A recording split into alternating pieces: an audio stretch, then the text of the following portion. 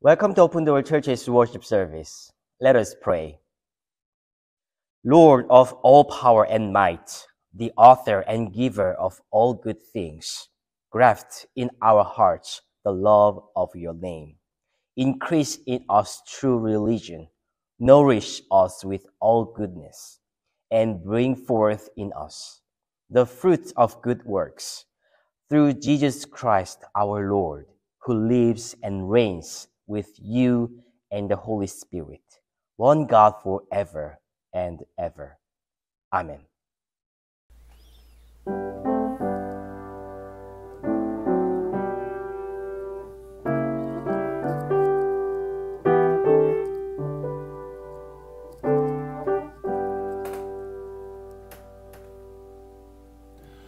Precious Lord, take my hand, lead let me stand. I am tired, I am weak, I am worn. Through the storm, through the night, lead me on to the light. Take my hand, precious Lord,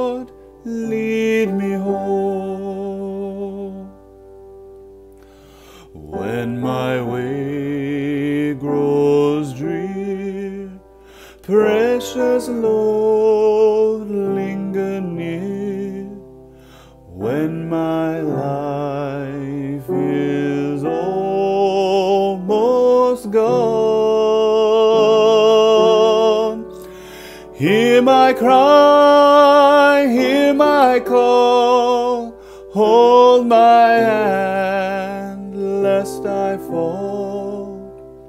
Take my hand, precious Lord, lead me home. When the darkness appears and the night draws near and the days past and gone. At the river I stand, guide my feet, hold my hand, take my hand, precious Lord, lead me home. Today's scripture is Exodus chapter 3, verses 1 through 15. Moses was keeping the flock of his father in law Jethro, the priest of Midian. He led his flock beyond the wilderness and came to Mount Horeb, the mountain of God. There the angel of the Lord appeared to him in a flame of fire out of a bush. He looked, and the bush was blazing, yet it was not consumed. Then Moses said, I must turn aside and look at this great sight and see why the bush is not burned up. When the Lord saw that he had turned aside to see, God called to him out of the bush, Moses, Moses. And he said, Here I am. Then he said, Come no closer, remove the sandals from your feet, for the place on which you are standing is holy ground. He said further, I am the God of your father, the God of Abraham, the God of Isaac, and the God of Jacob. And Moses hid his face, for he was afraid to look at God. Then the Lord said, I have observed the misery of my people who are in Egypt. I have heard their cry on account of their taskmasters. Indeed, I know their sufferings, and I have come down to deliver them from the Egyptians and to bring them up out of that land to a good and spacious land, to a land flowing with milk and honey, to the country of the Canaanites, the Hittites, the Amorites, the Perizzites, the Hivites, and the Jebusites. The cry of the Israelites has now come to me. I have also seen how the Egyptians oppressed them. Now go. I am sending you to Pharaoh to bring my people, the Israelites, out of Egypt. But Moses said to God, Who am I that I should go to Pharaoh and bring the Israelites out of Egypt? He said, I will be with you, and this shall be the sign for you that it is I who sent you. When you have brought the people out of Egypt, you shall serve God on this mountain. But Moses said to God, If I come to the Israelites and say to them, The God of your ancestors has sent me to you, and they ask me, What is his name? What shall I say to them? God said to Moses, I am who I am. He said further, Thus you shall say to the Israelites, I am has sent to you. God also said to Moses, Thus you shall say to the Israelites, The Lord, the God of your ancestors, the God of Abraham, the God of Isaac, and the God of Jacob, has sent me to you. This is my name forever, and is my title for all generations. This is the word of God. Let us pray. Thank you for giving us today's scripture. Through today's scripture, we thank for the guidance of a God who loves us and always plans for us. As Christians, we feel that God is always calling us for God's plan. We are here to receive your words. We are here to follow your plan. And we are here to feel your love. Use us for your plans and call us for your love. I prayed in the name of Jesus Christ. Amen.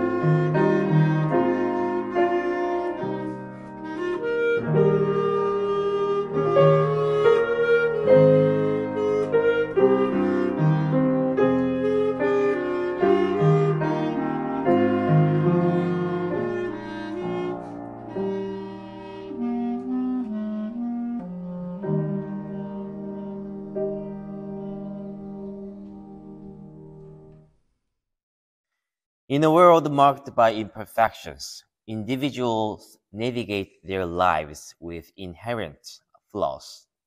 Often, people grapple with a sense of shame linked to these imperfections, leading them to seek ways to conceal them. These responses can be culturally influenced and traced back to the earliest human beings, Adam and Eve. In their initial state, they existed without shame, unburdened by the need to hide anything. Regrettably, after succumbing to the serpent's temptation and consuming the forbidden fruit from the tree of the knowledge of good and evil, they were overcome by shame. In a bid to hide their newfound awareness, they fashioned leaves into clothing. Consequently, when God beckoned them, they sought refuge behind the shelter of a tree. In this intricate dance of existence, a holy God actively engages with humanity to oversee an imperfect world. Holiness is essential for individuals who aspire to stand before God without shame. Drawing from Wesley's teachings, holiness manifests as the state of being sanctified through the indwelling and actions of God. The path to embodying holiness and to connect with the divine presence within us raises the question What steps are imperative to achieve this sacred transformation? Building up in the previous sermon's narrative, we find Moses at the center of our exploration once again. Moses' early life was marked by the, the assistance of many individuals during his birth. Yet, despite these auspicious beginnings, his imperfections would later come to the forefront. An uncontrollable surge of anger within him led to a grave act, the killing of an Egyptian overseer who oppressed the Israelites. Haunted by this transgression and unable to confront his guilt, Moses concealed the crime. However, when confronted by the Israelites regarding the incident, the weight of shame settled upon him, prompting him to flee into the wilderness. This retreat was driven by his desire to evade accountability for his actions. Amidst the solitude of the Midian wilderness, Moses encountered a scene where shepherds obstructed women from accessing water for their sheep. Compelled by his innate sense of justice, he intervened and provided assistance to these women. Grateful for his intervention, they recounted the episode to their father Reuel, also known as Jethro, who happened to be Moses' father-in-law. Upon extending an invitation, Jethro welcomed Moses into his household, offering him a place to reside. Thus, Moses found himself without a refuge, and his alignment with Jethro's household was sealed with the marriage between Moses and Jethro's daughter, Zipporah. Our scripture journey unfolds with Moses, who, having become a part of Jethro's family, shepherds his flock through the wilderness. As recounted in chapter 3, verse 1, he ventures to Mount Horeb, later recognized as Mount Sinai, the hallowed uh, location where the Ten Commandments will be bestowed upon him. Verse 2 presents a remarkable sight an angel of God manifested as a blazing fire within a bush. Although it was not uncommon for dry and scorching wilderness vegetation to ignite, the extraordinary aspect lay in the fact that the bush remained unscathed by the flames. Intrigued, Moses approaches for a closer look, prompting God's call. Moses, Moses, to which Moses responds, Here I am. In verse 5, God's command rings out Remove your sandals, for the ground on which you stand is holy. Across the ancient Near East, removing one's footwear signified entering a sacred space. This custom extended to priests within the temple, precincts, and audiences with royalty. While interpretations abound, the core of God's instruction to Moses resonates with guiding him toward holiness. In a state of shame and concealed remorse, Moses had fled into the wilderness to obscure his past actions. In this self imposed isolation, he lost connection with God and the sacred, much like Adam and Eve, who, post temptation, sought refuge from divine presence. However, God, who is aware of all things, invites Moses to unveil his hidden burdens, to lay bare his secrets, and to invite God into his uh, vulnerability. Holiness isn't synonymous with perfection. It stems from open confession before God and inviting divine presence into the depths of one's being. Even in my pastoral role, I too am far from impeccably embodying all of Scripture's teachings. My shoes remain on while in the church office, deviating from the ancient priestly custom. Nevertheless, holiness entails embracing honesty before God, regardless of shoe removal. Verse 6 underscores God's identification as the God of Abraham, Isaac, and Jacob, prompting Moses to veil his face in awe of this divine encounter. Falling before God in a posture of reverence reflects profound respect for the divine majesty. In verses 7 to 10, God addresses Moses, revealing, I have observed the oppression of my people in Egypt, and I have heard their cries of distress. I will rescue them and lead them to a land flowing with milk and honey. This declaration underscores God's intimate awareness of human suffering rooted in the fiery bush's symbolism. The Hebrew word for bush holds significance, embodying the oppressed, this portrayal parallels their pain as an absence of God. Through the fiery symbol, God conveys a resounding message. I'm attuned to the cries of the suffering, and I am present in their midst.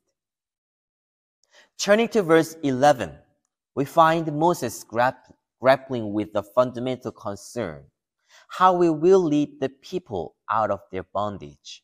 In response, God reassures Moses that his constant presence will accompany him, assure, assuring Moses that their future worship at this very place will signify his divine commission. Moving to verse 13, Moses raises another query, pondering how to respond when the Israelites ask for God's name. In that era, the name of God varied, such as Elohim or Yahweh, depending on linguistic and cultural distinctions. God's response resounds with a profound revelation I am who I am. This declaration encapsulates the essence of the Holy One. A holy God exists in absolute independence, self sufficient, and sovereign over all creation. This self contained nature defines God, who requires no external reliance. However, recognizing the potential challenge of this revelation for the Israelites, God provides Moses with a more relatable reply. Tell them, the God of Abraham, Isaac, and Jacob sent me to you. This is my name forever to you. This revelation unveils the depth of God's nature, challenging our comprehension. God is beyond human definition, encompassing existence itself. The proclamation of I am captures the eternal, unchanging essence of the divine, devoid of dependency of or alteration.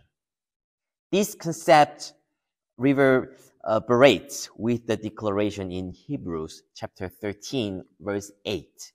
Jesus Christ is the same yesterday, today, and forever. Just as God's name is unchanging, so is his character.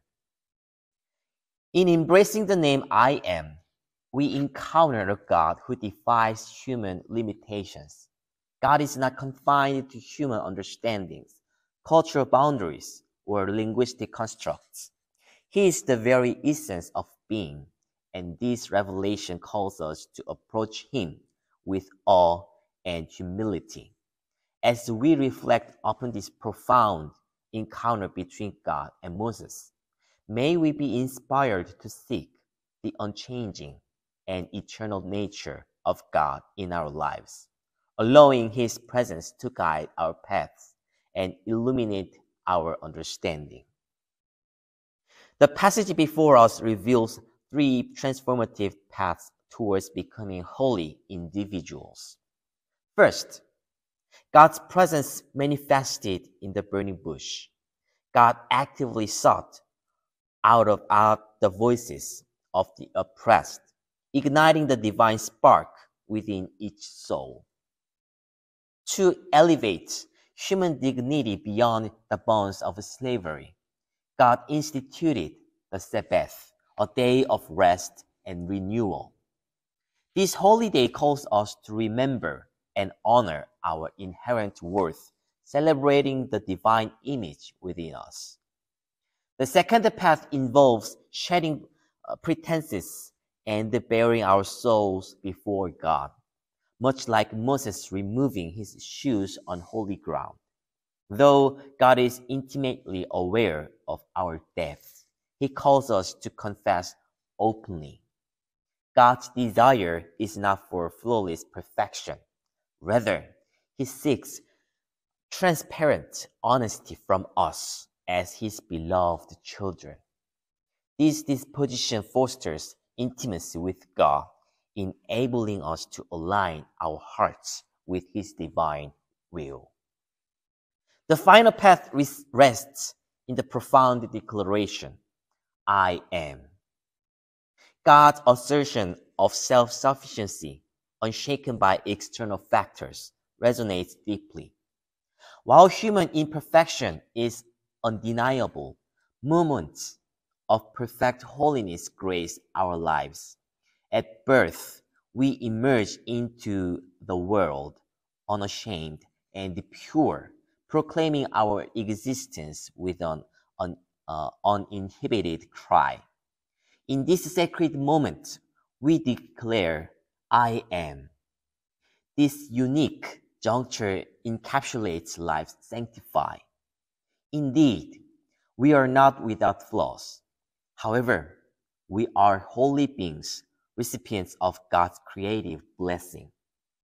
Embrace these gifts and hold your life in reverence. Cherish each moment and cultivate self love. As this week unfolds, may you consecrate the Sabbath, transforming it into a holy space.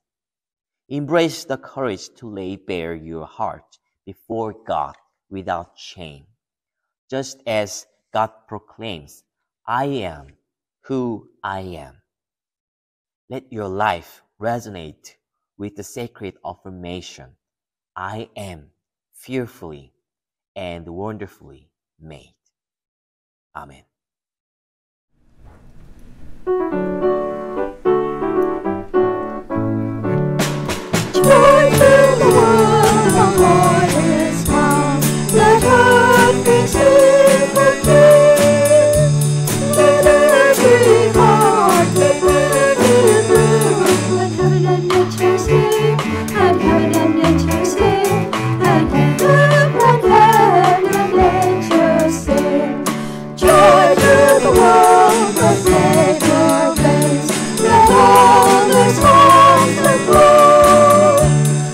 feels like fall.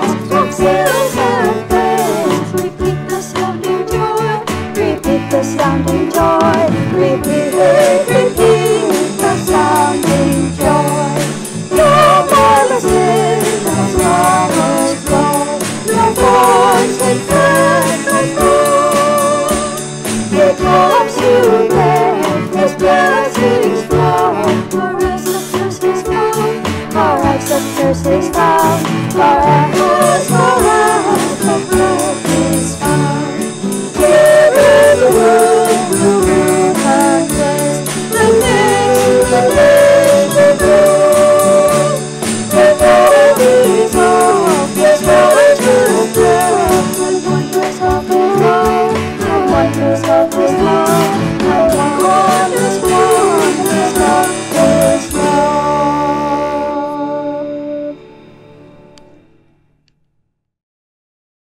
Offerings the faith for giving our hearts in front of God. Let us pray. God of power and might, we, like Peter, struggle with the image of a Savior sent to suffer and die. We may seem to be doing great in following Christ, but we too stumble at this point. Perhaps we stumble because we know that what follow is Christ's call to us to deny ourselves and pick up a cross of our own in order to follow. As we bring gifts for the work of building your kingdom, help us to learn to deny, carry, and follow. In Christ's holy name we pray. Amen.